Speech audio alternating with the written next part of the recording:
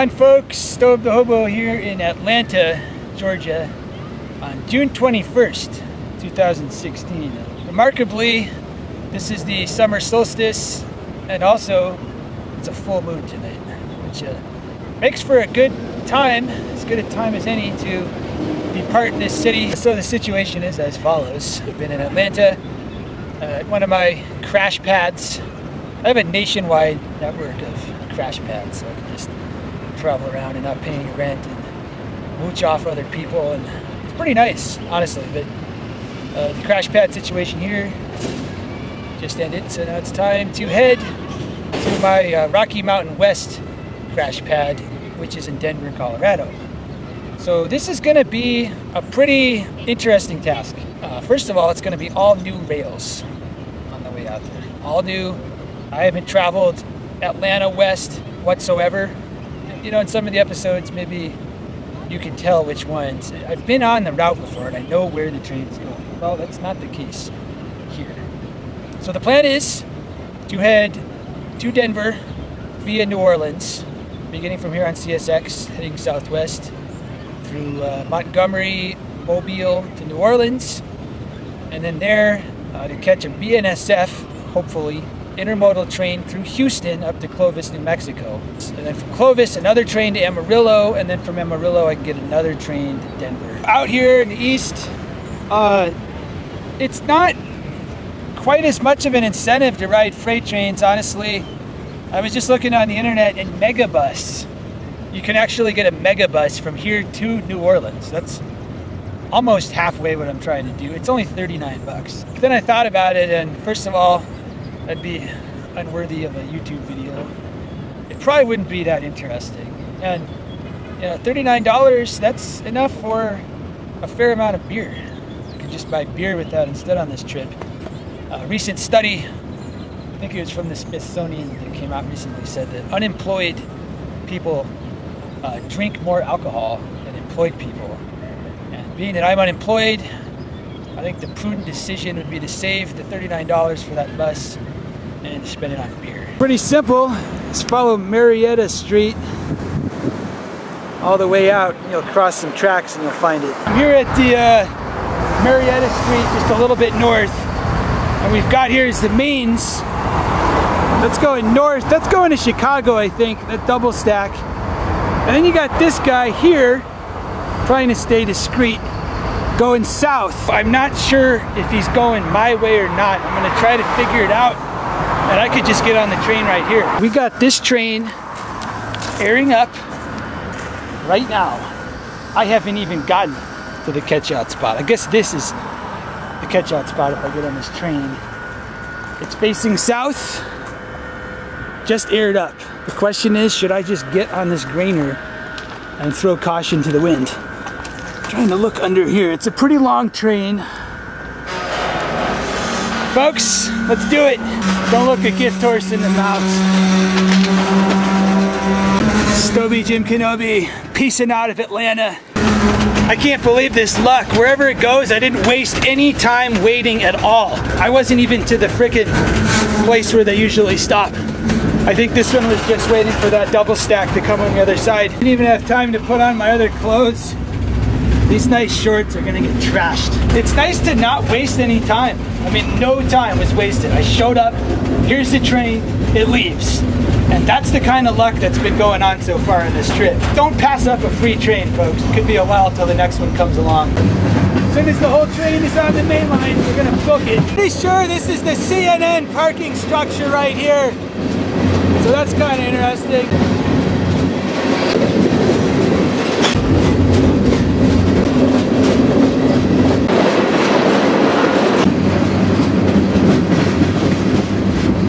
Cutting off towards the west, I think.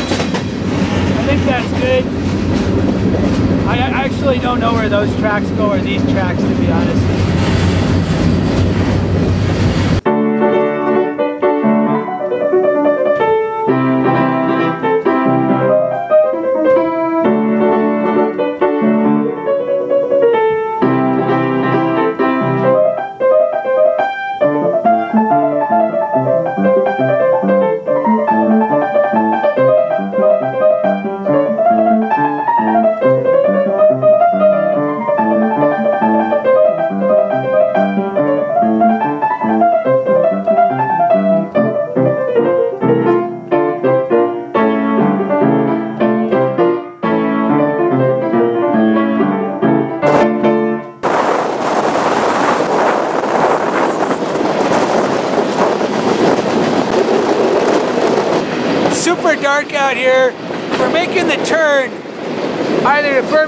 Montgomery right here, and I'm not sure which one. I really don't want to go to Birmingham. Let's see here, engines are going left. Yeah, I don't know what's going on.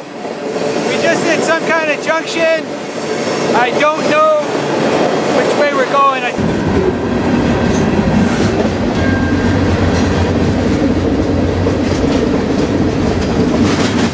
I don't exactly know which direction I took at the junction back there. It's hard to tell. Definitely in Alabama right now. I don't know if I'm going to Montgomery or if I'm going to Birmingham.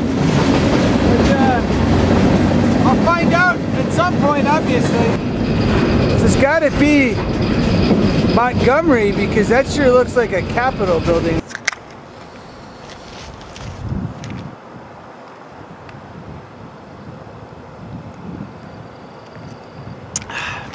Well, I don't know if it's the solstice or the moon, full moon solstice thing going on, but the good luck just continues all the way down to Montgomery. And I've never been in a state where at 3 in the morning you can still buy a cold one in the gas station. But here we are, Alabama. Looks like it's the first one. And then you got these these chicken tenders are, these are se like severely delicious too. What's going on? Stobe the Hobo here in Montgomery. So it's a super historic city. Uh, I'd say mostly in the regard of going back to the slave trade and then the civil rights movement. The uh, racist governor George Wallace worked right out of here and uh, all the other racists who were in charge of the state you know up until things evened out a little bit. In the 60s you got Martin Luther King appearances here you got marches all that kind of stuff. Up and down this I think this is Dexter Street. You got little informational signs all over the place telling you about the you know civil rights movement all that kind of stuff. So right where this fountain is just a little bit down from the Capitol building. Uh, I guess there was a slave market here. I'd have to say though, I mean, that's pretty much all done, as well as anything kind of interesting or exciting. The place just looks just deserted these days. I mean, I think the fact that Stobe the Hobo arrived on the solstice of the full moon in June 2016 is probably the most interesting thing to happen to this city in years. So this is Montgomery, and uh, you know I gotta say, I mean, there's some cool history stuff, the civil rights and some of the Civil War. This is the first Confederate capital. I'm kind of disappointed because right now in 2016, there's just there's nothing going on interesting here at all. I mean, I thought, you know, looking at it on a map, I thought maybe there'd be a cool restaurant down here, or a cool jazz club, or something. And it's just devoid. State Capitol building and legislator stuff is probably worth, you know, two hours.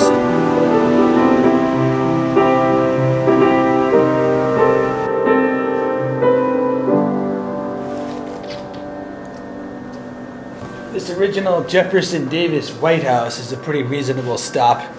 Best of all, free of charge.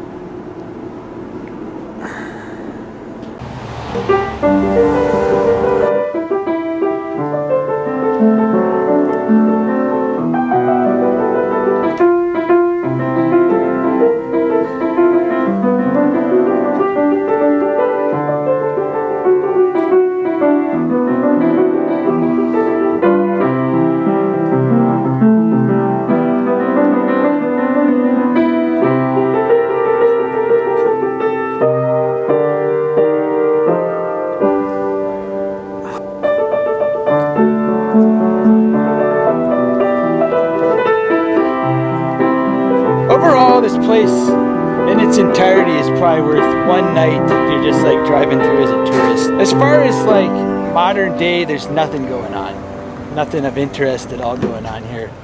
So I think you could pretty much knock the whole thing out in one day, which I've about done. So as far as rail traffic coming through here, you got a pretty interesting situation. I'm here uh, north, kind of northeast of the downtown, but right here, it's not a, not a big town. And you got here is this junction. So as you can see over here, any train coming off there is coming from Birmingham and this track over there that leads to Atlanta. I think it was two separate railroads at some. And you got a yard uh, right up there and right up there. I jumped off last night a little ways up there.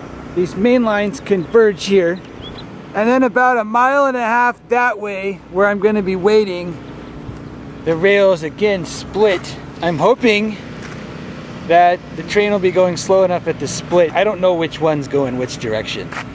I'm trying to go towards Mobile slash NOLA. It's possible the other split goes to Waycross, Georgia, which is way out of the way. All right, folks, well, that's Montgomery. Time to keep going. Just gonna go grab some beer and uh, get in position for the next train to Mobile. Stobe out.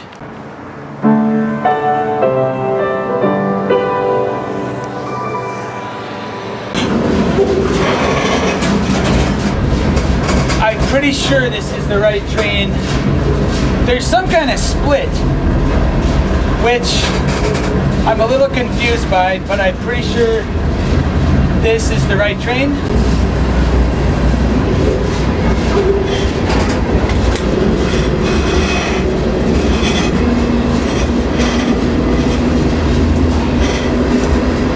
That is good.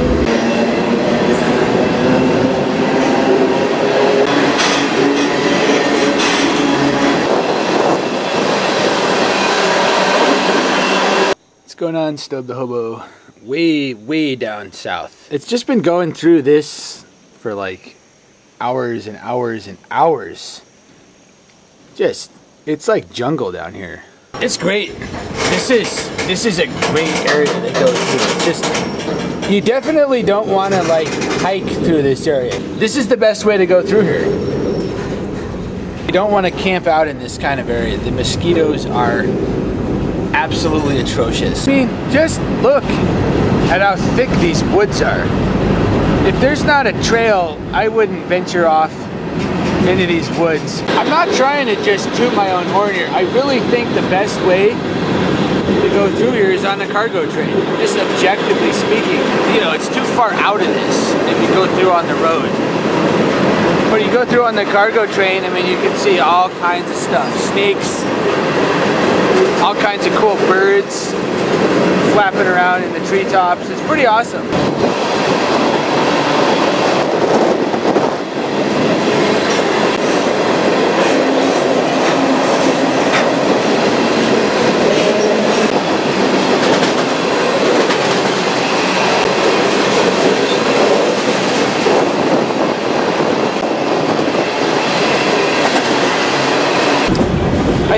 Be a good time to do like a little disclaimer on don't don't get too drunk. I'm I'm a, I've been drinking Colt 45 and Steel Reserve, and it's like I don't think it's a good idea to, get too wasted because if the cops show up, it's it's a hopeless now. I'm just gonna immediately give up and cave in to the cops. Uh, additionally, I might miss the stop. Mobile, I want to get off there. Not in a big rush. And right now, I'm so trashed, I don't know what is going to happen. Now, I've got the judgment. I'm not going to climb around on the wheels. I'm not going to do anything crazy. Not to get run over by the train. Just rolled into Mobile Yard. And I gotta say, this is definitely the most high security yard I've ever seen of CSX by far. Cameras all over the place. Now it's dark. It's dark right now, so I think everything's cool, but I'm definitely gonna need to find a place somewhere other than just walking in here for the return, the, uh, to continue the trip out of here. Or I guess I could just come in here at night. This is lockdown. It's ridiculous. I mean, it took, I don't know how it took so long to get down here. It's 170 miles and it's three. See, I don't know if you can see on the other side of the train, there's barbed wire. Total lockdown. So I'm trying to figure out how to get out of the yard right now. I may be trapped in here. You got this train pulling out. Here's the yard office. There's the yard. And you look, there's no way out without getting spotted. So this is impossible in the daytime. And it may be impossible in the nighttime. If I was not out of water, I might just get back on the train What's going on? Stobe the Hobo here in Mobile. Uh, got in super late and uh, currently just kind of figuring out the train yard situation. There's a lot of trains. I guess CN runs out of here, which I didn't know. That's over here. So the main issue going on, uh, it's looking like this is nighttime only to access the catch spot. Because what you've got happening is, uh, I'm here very south edge of the yard. And what you need is to be up here. If you can see, that stop train there. Basically, the, the main lines where the, the trains are stopping are inaccessible from one side. You've got the Alabama State Docks, which is on some kind of major security thing. They got high-tech cameras, everything. So you can't get in from that side. So to get in from this side, you're gonna have to just basically be seen and walk in front of the yard office. And I'm gonna have to probably do that at night. So this is Mobile and it's actually one of the more pleasant stops I've found. You've got this nice bay leading out to the Gulf with what I'm sure is pretty pleasant temperatured water. Unfortunately, there's not a beach super close. In addition to being a cool town for trains, it's also pretty cool if you're into ships. You got all these shipyards here. Looks like most of them are pretty busy at the moment.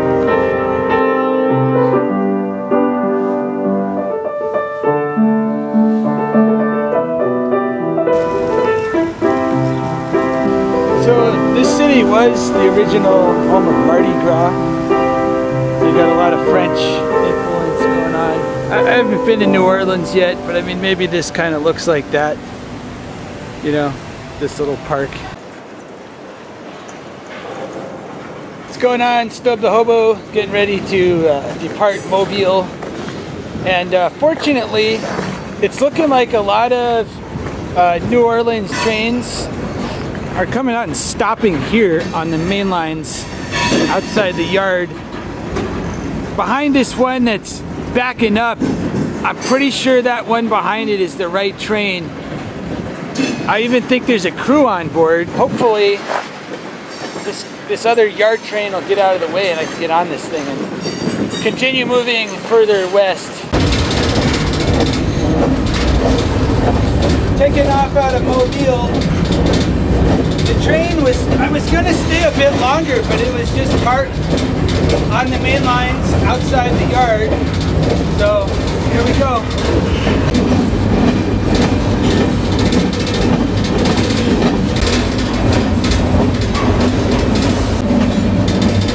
It's not a bad town. I mean, you got a nice waterfront, which is probably the coolest part. And it's right near the train tracks. Got the downtown right here.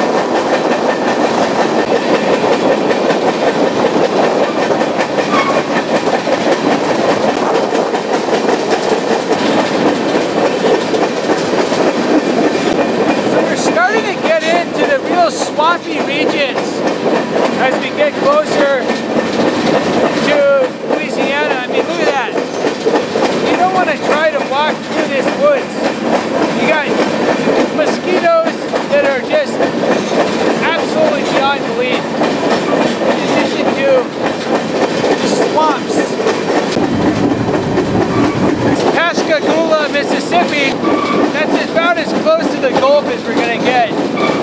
Oh my God, look at that water.